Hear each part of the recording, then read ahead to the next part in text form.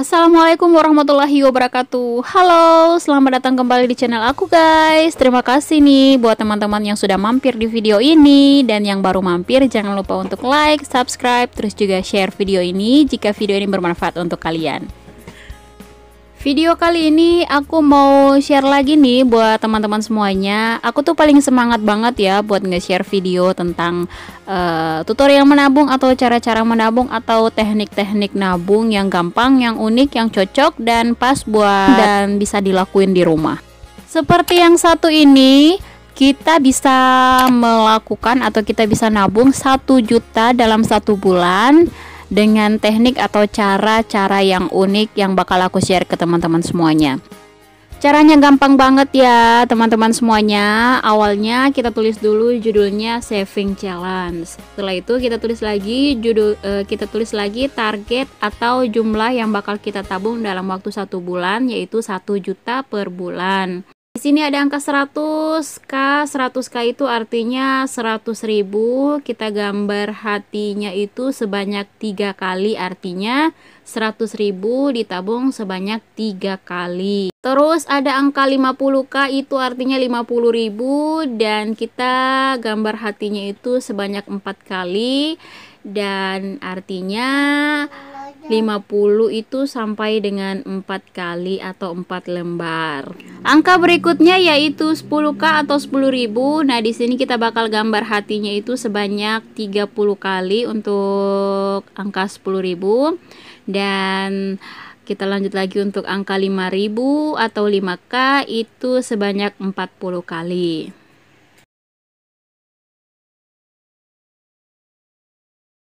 Kita tulis keterangan di bawah ya, keterangannya yaitu angka 100 sama dengan angka 100 kita kali tiga kali terus artinya 300.000 angka 54 kali atau 4 lembar berarti 200.000 ya. Dan angka 10.000 kita kali dengan 30 kali angka hati berarti dia 300.000 yang terakhir yaitu 5000 kita kali dengan 40 kali tanda hati berarti 200.000. Jadi total semuanya itu ada sekitar 1 juta rupiah. Untuk cara nabungnya sendiri gampang banget ya buat teman-teman semuanya yang masih bingung caranya seperti apa. Ketika kalian punya uang 100 ribu berarti kalian tandai atau kalian warnai satu tanda hati. Terus kalau misalkan kalian punya uang 10 ribu kalian tandai untuk yang angka 10 ribu tanda hatinya. Seperti dan seperti itu selanjutnya. Jadi di sini ada pecahan terkecil 5000 ya. Jadi pas ketika kita lagi bokeh, jadi kita masih bisa menyisihkan untuk menabung. Teman-teman aku punya tips sedikit buat kalian yang masih bingung untuk mulai nabungnya seperti apa. Jadi yang pertama, teman-teman itu harus cari pemasukan tambahan dan mengurangi pengeluaran. Jadi teman-teman bisa uh, mungkin jualan gitu ya. Jualan barang atau jualan makanan kan banyak tuh ya sekarang yang bisa dikerjakan dari rumah. Dan untuk eh, teman-teman semuanya jadi kita bisa mengurangi intensitas atau uh, nongkrong-nongkrong gak jelas Tips yang kedua yaitu sisihkan sedikit demi sedikit. Teman-teman bisa menyisihkan uang jajan teman-teman semuanya atau mungkin untuk ibu-ibu rumah tangga ada sisa dari belanjaan kalian bisa memasukkannya di dalam celengan. Lumayan ya kalau misalkan kembalian dari sisa belanja itu ada 5000 atau 10000 terus kalian isi di celengan sehari terus kita kali sebulan dan kita kali setahun lumayan luar biasa banget membantu untuk eh, teman-teman uh, semuanya. Terus yang ketiga yaitu atur prioritas. Prioritas itu penting banget ya, ketahui mana yang menjadi keinginan dan yang menjadi kebutuhan teman-teman semuanya. Tips yang keempat yaitu hindari berhutang. Percaya nggak percaya, berhutang ini bisa jadi habit yang nggak baik loh. So, sebelum teman-teman semuanya mulai memikirkan untuk berhutang, lebih baik segera cut ya. Untuk nabung memang berat di depan ya, tapi di belakang menjadi ringan. Kebalikan sama hutang, hutang itu ringan di depan, tapi setelah di belakangnya bakal terasa berat banget. Teman-teman berusahalah untuk menabung karena hidup itu tak selalu untung ya. Jadi kita bisa mulai pelan-pelan menyisihkan uang untuk ditabung, mulai buat kos atau budgeting keuangan supaya bisa ketahuan uang itu ke mana aja gitu ya. Jadi bukan goib tiba-tiba uang habis. Hehehe. Iya, berhemat bukan berarti kita pelit loh ya. Berhemat itu lebih ke bijak dan juga cerdas mengelola keuangan. Kalau pelit itu menahan atau memangkas pengeluaran yang harusnya kita keluarin malah tidak dikeluarkan. Jadi e, bisa dibedakan ya mana yang pelit dan mana yang hemat. Sedikit tambahan juga buat teman-teman, usahakan kita itu tetap produktif walau hanya jualan bakso atau jualan kue. Jika memang tidak bisa karena mungkin kesibukan di rumah yang mengharuskan kita emang fokus seperti mengurus anak dan juga mengurus suami, paling tidak nih, paling tidak kita itu lebih cermat dalam menjaga harta suami.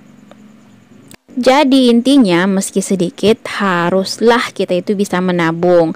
Nanti ketika sudah besar atau banyak, maka jangan disayang-sayang untuk dipakai untuk kebaikan, kebutuhan, untuk hal-hal yang baik dan yang paling penting jangan sampai lupa untuk menyisihkan sedekah ketika kondisi sedang urgent atau darurat, sebenarnya kita itu bisa meminjam ke tabungan ya. Nggak ada yang salah kok, selagi itu untuk kebutuhan. Jangan merasa berdosa, apalagi sampai nggak mau nabung lagi uh, karena termindset ngapain nabung ya? Nanti juga dibongkar lagi. No no no no no ya. Itu adalah uh, kenapa kita harus nabung. Karena memang kita butuh nominal itu sebenarnya hanya tentang angka sih ya yang bisa berubah kapan saja. Tapi untuk kebiasaan menabung, menyisihkan itu susah sekali untuk dibangun. Perlu usaha, niat, dan konsisten maka sebaiknya nabung itu dicoba terus. Terus sampai kapan dong? Sampai rasanya udah nggak perlu nabung lagi. Semuanya sudah terpenuhi tanpa harus nabung. Beli apa aja udah bisa cash tanpa nabung-nabung lagi. Sampai bingung mau ngabisin duit. Loh, sampai emang benar-benar kita itu udah capek ya buat ngabisin duit. Guys, menabung itu bukan tentang menimbun harta ya, tapi tentang melatih kesabaran menjadi pribadi yang bersyukur, lebih konaah dan sederhana. Memini meminimalisir hutang juga itu bisa meringankan stres, menjauhi riba, dan yang paling penting itu tidak menyusahkan orang lain. Masih banyak lagi kok eh, fungsinya kita itu nabung buat apa. Jadi jangan ragu buat nabung ya. Buat kalian yang mau ngebentuk sesuatu yang positif itu emang rada-rada gampang-gampang susah ya teman-teman. Tapi hanya perlu pembiasaan atau konsisten aja.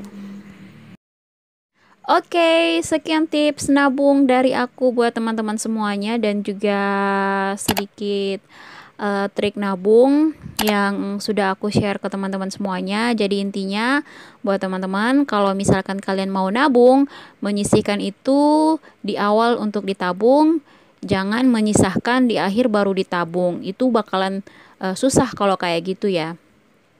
Mudah-mudahan apa yang udah aku share kali ini bermanfaat buat teman-teman semuanya. Jangan lupa untuk share ke teman-teman kalian kalau memang uh, informasi yang aku bagikan ini bermanfaat dan juga yang baru mampir jangan lupa untuk tekan tombol like, subscribe dan juga uh, komen video ini. Kita sharing sama-sama ya kalau kalian metode nabungnya itu seperti apa. Terima kasih. Assalamualaikum warahmatullahi